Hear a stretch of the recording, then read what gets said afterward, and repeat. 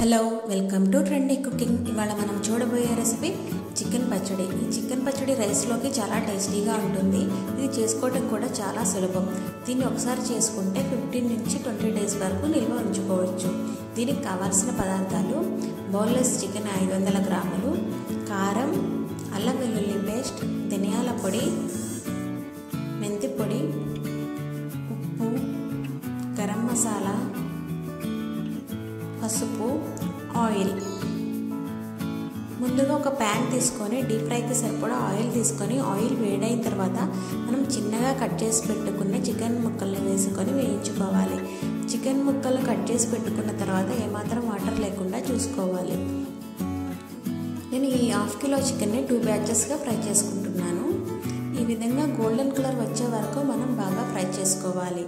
అది మీడియం ఫ్లేమ్లో మనం ఫ్రై చేసుకోవాలి. ఈ విధంగా ఫ్రై అయిన ముక్కల్ని మనం పక్కన ఒక గిన్నెలోనికి తీసి పెట్టుకోవాలి.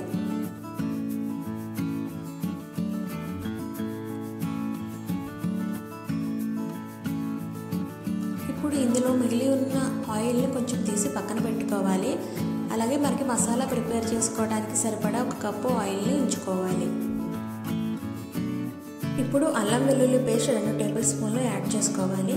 పచ్చివాసన పోయే వరకు లో ఫ్లేమ్లో మనం ఫ్రై చేసుకోవాలి. ఒకసారి పచ్చివాసన పోయిన తర్వాత మనం ఫ్లేమ్ ఆఫ్ చేసుకోవాలి.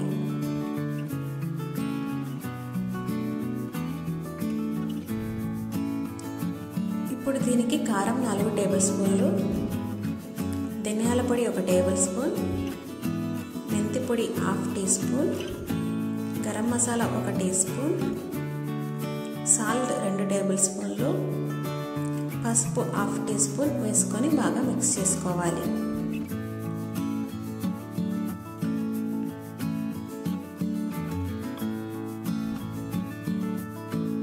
ఇప్పుడు ఇందులోనికి మనం ముందుగా ఫ్రై చేసి పెట్టుకున్న చికెన్ని వేసుకొని బాగా మిక్స్ చేసుకోవాలి.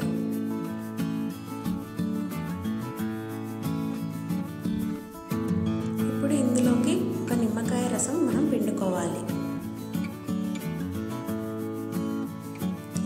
కూడా ఒకసారి బాగా మిక్స్ చేసుకోవాలి. ఈ విధంగా మనకి ఎంతో టేస్టీగా స్పైసీగా ఉండే చికెన్ పచ్చడి రెడీ.